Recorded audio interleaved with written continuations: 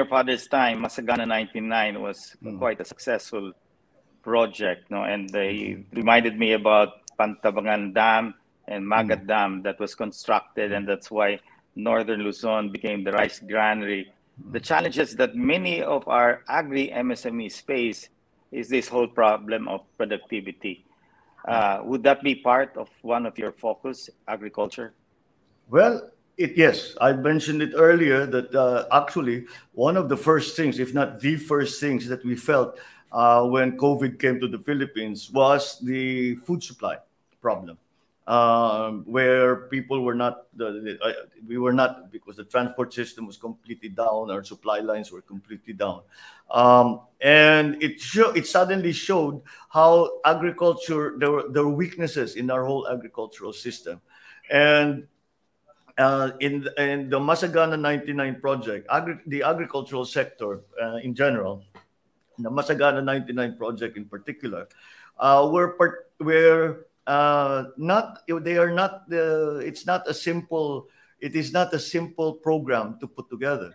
Uh, sometimes when we think of agriculture we think of a, of a farmer planting uh, rice or planting whatever whatever the crop is uh, that is not the whole that is a very small part of agriculture uh, we need to as, as we did before uh, we need to put together we, we need to put together the research and development climate change coming on.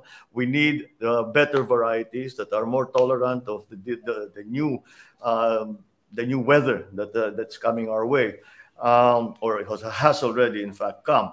And then after that, we need the uh, support uh, to give to the farmers, and uh, the the that includes uh, things like production loans, the, the procurement of uh, fertilizers and pesticides uh, at bulk at bulk prices, and to give them as part of the production loan. And you know, I keep reminding people, government is, should not be making money on any of this, and therefore will be able to provide it cheaply. Now, during the on the production phase it's very important that we realize that we are way behind our neighbors when it comes to mechanization. The, the, the, the, the uh, percentage of labor cost in our cost of production is twice as much as that of Vietnam and Thailand. And that is because of mechanization. And uh, that's why it is time for the government to once again support uh, that, uh, that, that uh, effort to mechanize to so that we bring down the cost of production we must mechanize. Instead of uh, small scale farms we have to put them together and that's what we try to do. That's why i spoke about agricultural cooperatives. We have to put them together so it is a large scale farming and that brings down the cost of production a great deal and that certainly increases the profits of the farmers. And that is the kind of support that that, that they need after production, once again, the uh, processing, the milling, the drying, all of these things should also be provided by government. After that is the is the uh, bringing it to market. Uh, we had before uh, the NFA. The NFA, the function of the NFA before was completely different from what it's doing now. The NFA only imports rice now. But what the NFA used to do, what the NFA was created for, was to stabilize the market uh, the market price of certain commodities. When it's time for harvest and the prices are low, supply is high and prices are low, NFA would buy and keep the price at a certain at a certain level para naman hindi malugi yung mga farmer. Pagka tag-araw, tag-init, na walang ani, and that's the time nagre-release na ngayon sila para hindi naman masyadong tumaas ang presyo para sa consumer. And that was that's what NFA uh, used to do. I think we should return that we should return NFA to that function.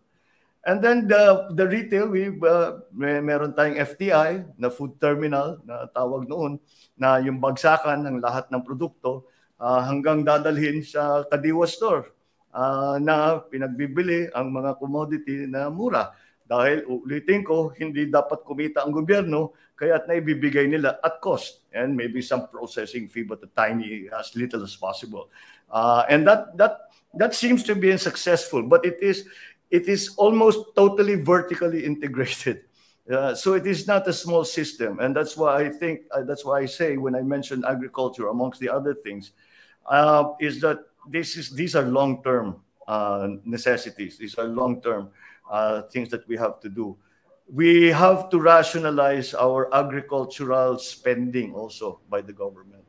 Uh, the, there, the, the, the, there are people who there are people who say that uh, we're spending too much on rice when in fact uh, in terms of actual nutrition or food uh, dairy eh, mas madami mas madami ang livestock mas madami ang fisheries and maybe it's something that we should that we should study so we have to rationalize everything and you mentioned the dams eh, ang unang-una talaga is patubig uh, you know, none of this will succeed if you do not have good irrigation.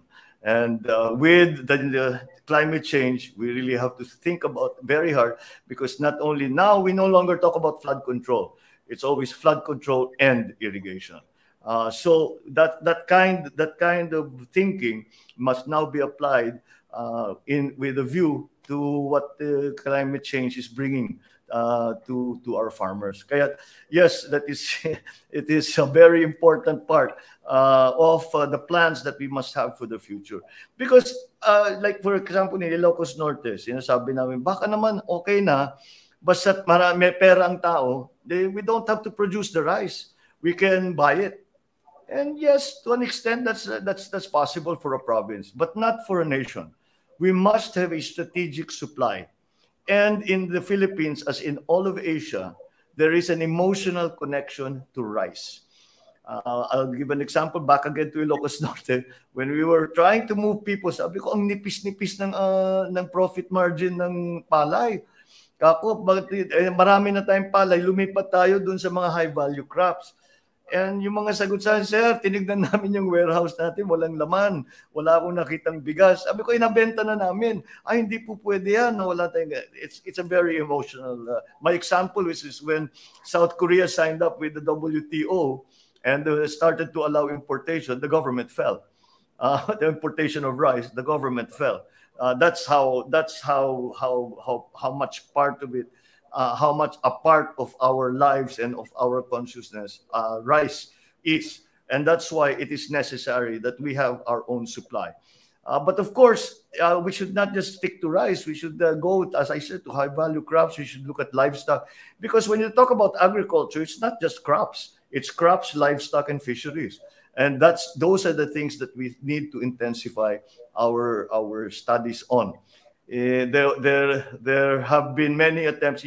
There was, uh, there was uh, an accompanying program to Masagana 99 where bankas were provided uh, to our fisher folk. And uh, maybe we can return to that. We need now a different kind of design because much of our 12 uh, kilometer limit has been overfished, not only by Filipinos, but people who are poaching from our waters.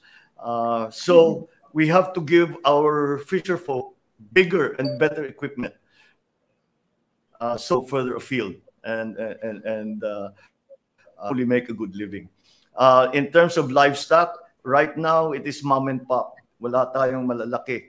Uh, we have piggeries and we have uh, uh, we don't have much dairy if, if you think about it. But uh, what there is is uh, still backyard. It's a the, the backyard style of uh, of uh, of raising uh, livestock. Uh, so we again, uh, just in terms of food supply, just in terms, you have to study in, in fact kasi bigas lang pinag-uusapan natin, dapat tignan natin yung protein, tignan natin lahat ng iba't ibang nutritional elements para maging maging uh, uh, maganda ang ating agrikultura at talagang nabibigyan ng pagkain at nabibigyan ng sustansya ang taong bayan.